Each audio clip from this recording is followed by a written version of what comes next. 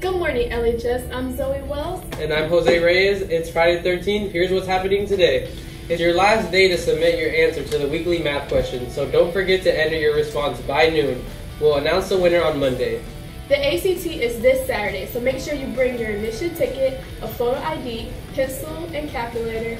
Testing starts at 8, so don't be late. If you have any questions, please contact Ms. Andrews. The cross country team is selling tickets for a chance to win a Yeti cooler. Tickets are $5. Please support our runners.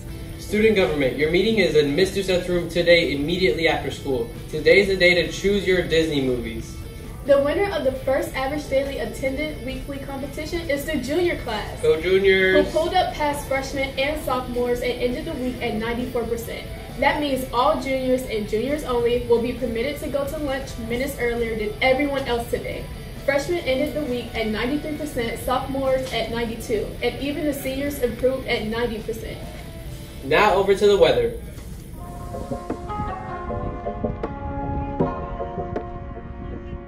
Happy Friday the 13th, y'all. I'm Jacob Howard, and here's today's weekend weather report. It's going to be rainy all day, but it will clear by tonight's varsity football game. Also, look out tonight at 12:30. There's going to be a harvest moon, and also check out for this weekend's weather as it's going to be rainy all weekend in the 80s and 90s. And that's your weekend weather report.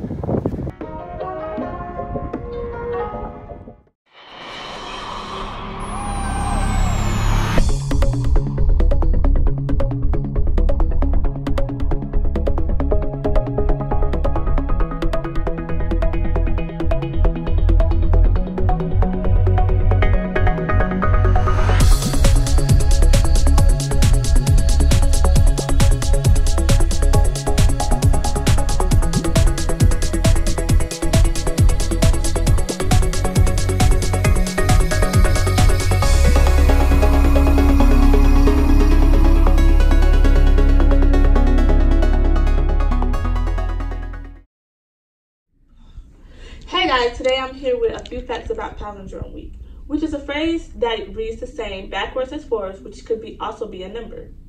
However, punctuation does not matter, but letters and digits do. Did you know that this week's read the same backwards as, as forwards? For example, 9, 10, 19 still reads 9, 10, 19. Mind blowing, right? Wow. And that's it for Friday's Facts and happy Palindrome Week. Bye. We're all familiar with the idea that Friday the 13th is bad luck. I mean, heck, even some hotels skip the 13th floor on the elevator buttons just for this reason. But why? The origin of this superstition is unclear, but the first noted references showed up around the mid 19th century. A U.S. Army captain named William Fowler founded the 13 Club, a group of 13 men in New York with an aim to prove superstitions false. They gathered for the first time on Friday the 13th, 1881, and their club activities included things like walking under ladders and breaking mirrors. Sign me up, because that sounds like fun. Donald Dossey, a folklore historian, suggests that the bad vibes associated with Friday the 13th have roots in ancient history. The number 13 has a shade of misfortune in Nordic mythology, as well as cultural and religious history. In numerology, the study of the symbolism of numbers, 12 stands for completeness, and the 13 is thought of as uh, odd or out of place. It's simply an uncomfortable number. The origins of the unluckiness of Friday as a day are a little bit fuzzier. The name Friday was chosen to honor the Norse goddess Frigg, aka Freya. She was the goddess of love, beauty, wisdom, war, death, and magic. This day was considered to be extremely unlucky for weddings, and later on, the Christian church attempted to demonize the goddess, which also may be a factor in that day's bad luck. With all of those factors added in, it's no wonder people think this day is unlucky. But don't worry, you're gonna be fine because you're amazing. And don't forget, we're on pep rally schedule today. Yeah. Well, that's LHS today. I'm Zoe Wells, And I'm Jose Reyes. and we'll see you here next week. Yeah,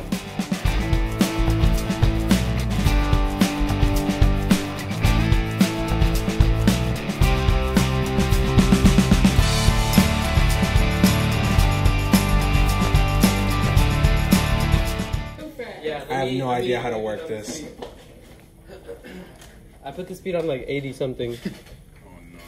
But it's because it was on 84 for her. There's no way to control it. Like if I had my phone, I could like connect it. No, I don't think so. That would be, that would be, think of that. Don't tell nobody to do that. That's a good idea. Big brain, big brain. I'm gonna start my own company. 81 You can't tell people about your ideas like that. Screen, screen share. Wait, isn't screen share? Oh.